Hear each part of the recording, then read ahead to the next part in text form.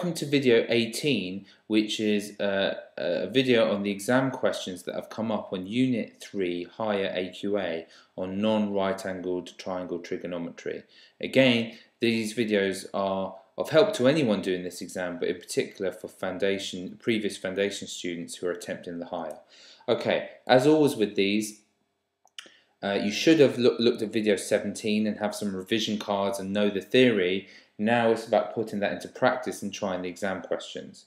Pause the video, have a go at a question, okay, and then watch my answer to mark your work and correct it if needed. Okay, uh, take a look at this and in 10 seconds I'll go through.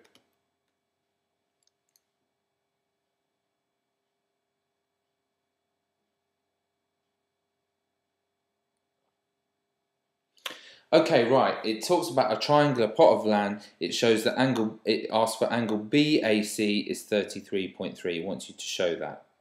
Okay, how on earth do I do that? Well, let's go through our options. A triangle.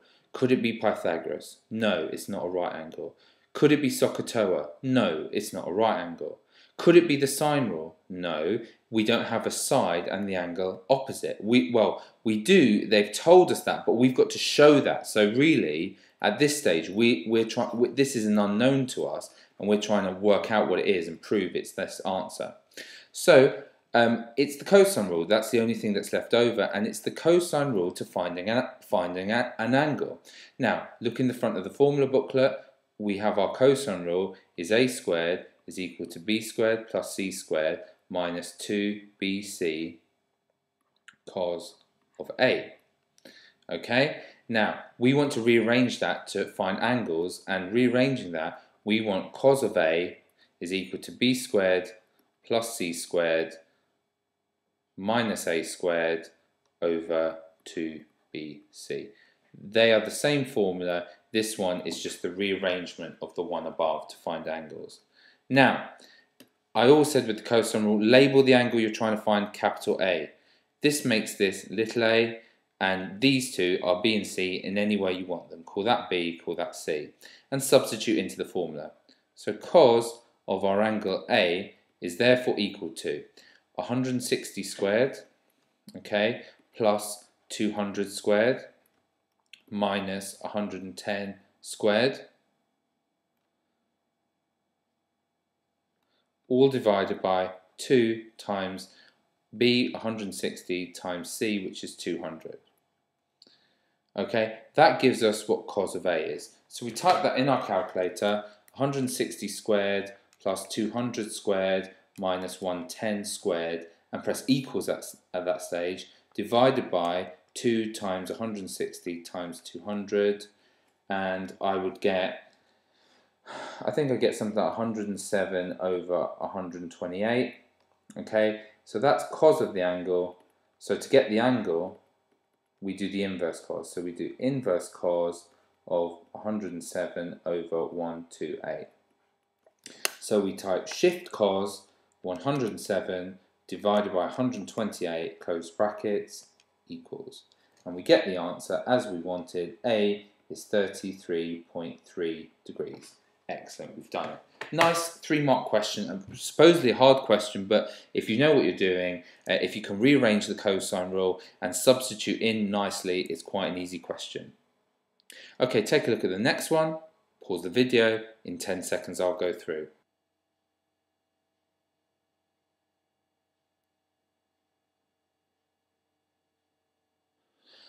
Okay, we're asked to work out distance AC. So I'm just going to draw in the one we're asked to do, that one.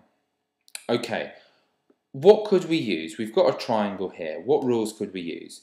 Could it be Pythagoras? No, it's not a right angle. SOHCAHTOA? No, not a right angle.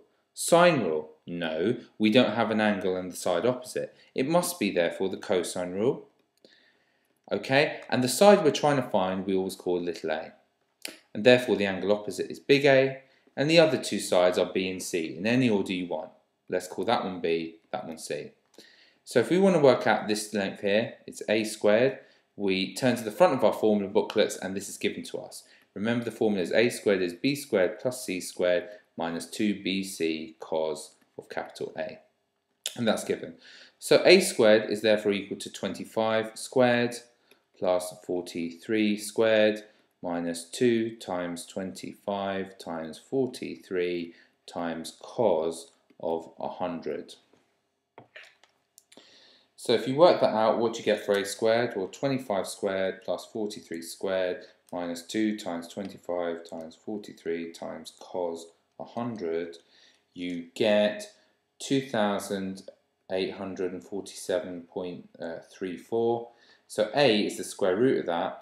So A is the square root of that answer. And if you do the square root of that, you get 53.4 uh, meters. Does it look reasonable? Yeah, it looks pretty reasonable. So 53.4 is our answer. Okay, take a look at the next question, pause the video, have a go, mark your work.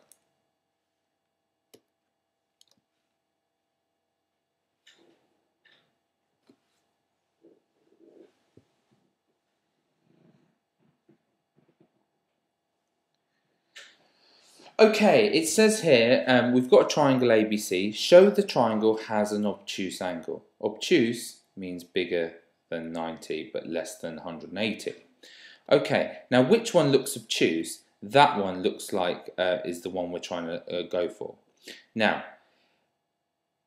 what rule on earth can we use to find this? Uh, the way we could do this is if we could find what that angle was and it was bigger than 90, then we're done or, or if that one was, for example. Now, how could we go about doing this? Could we use Pythagoras? Well, no, no right angle triangle is shown. Same with SOHCAHTOA, no right angle triangle. Could we use the cosine rule? Well, no, we don't have three sides or two sides and the angle in between, but it is the sine rule because we've got an angle and the side opposite. Okay, we've got an angle and the side opposite. Now, currently, we can't work out that angle because we don't know the side opposite, but we could work out that one there. So, always call the angle you're trying to find capital A. Okay, and that makes that one little a, and call the other two you've got capital B and little b. So the sine rule says if you're trying to work out an angle, it says sine A over A equals sine B over little b. Okay, so we're just going to do that. So we're going to say sine of that angle divided by 5 must equal sine of 55 divided by 8. Rearrange to find uh, sine A. Sine A, multiply both sides by 5. That 5 ends up on top here. Okay, so type in your calculator 5 sine 55 equals divided by 8 and you get, uh, well, I'll write that 0.5119, etc. Now that's sine A. You want A, okay? So you inverse sine that number. So 0.5119. So that would give you, inverse sine of that number would give you A is 30.8 degrees.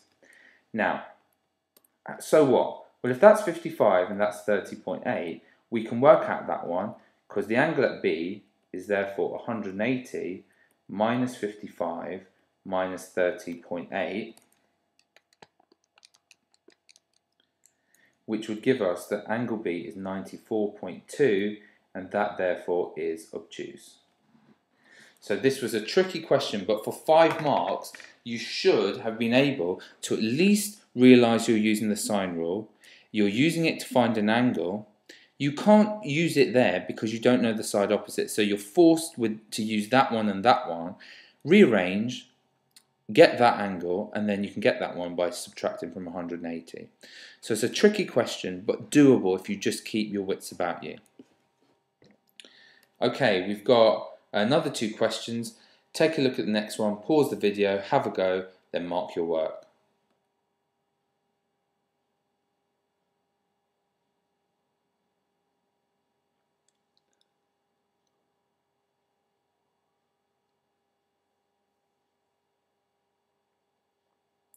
Okay, it says we've got triangles ABD and BCD. Work out the angle BCD. So B to C to D, this is the angle we want to find here. Okay, How on earth could we do it? Well, could we use any form of Pythagoras or in here? Well, no, we don't have a right angle triangle. Could we use the sine rule? Well, no, uh, not yet, because we don't have a side and the angle opposite. Could we use the cosine rule? Well, no, we don't have this angle and the two sides. We don't know that angle, and we don't have three sides. Okay, well, let's put our attention for now. We're eventually coming to this triangle. Why don't we look at that triangle there instead, just to start with. Okay, why don't we look at that triangle? We've got two sides and the angle in between. Now, that's not a right angle triangle, but we could use the cosine rule here. Okay, we could use the cosine rule to find this missing side here. Now, call the side we're trying to find always little a, that makes that capital A, and these two are B and C in any order. Call that one B, that one C. Now, the cosine rule is given to us in the formula booklet it's a squared equals b squared plus c squared minus 2bc cos of a. So substituting in a squared must be 8 squared plus 9 squared minus 2 times 8 times 9 times cos of 73. So 8 squared, if we work all that out, 8 squared plus 9 squared minus 2 times 8 times 9 times cos 73, you should get about 102.9 and if you square root it, if you square root that answer, you get 10.14 centimeters. So now we know this is 10.14. So look, we've got ourselves, let me redraw out our triangle here. I'm drawing this triangle here, by the way, now. That one there. Okay, we have now got this side we know is 10.14. We know this side is 7. We know this side is 5. And we want to work out that angle there. Okay, so we can again use the cosine rule, but this time to find an angle. Remember the cosine rule to find an angle is cos A is b squared plus c squared Okay, it's the rearrangement of this, minus a squared, all over 2bc. Call the angle you're trying to find A. So call that one there capital A. That makes that little a. Call these B and C in any order you want. Let's call that B, C for example. So cos of A, okay, that's going to be equal to 5 squared plus 7 squared minus 10.14 squared, all divided by 2 times 5 times 7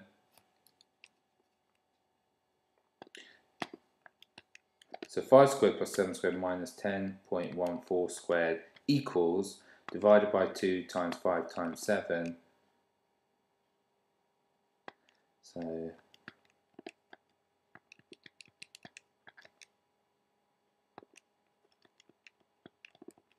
you get something like uh, that's equal to minus 0.4117. So A, therefore, is the inverse cos of that. So you inverse cos minus 0.4117. And you get 114.3 degrees. And that's your answer to this question here. Okay, last question coming up. Uh, pause the video, have a go, and I'll talk through the answers in 10 seconds.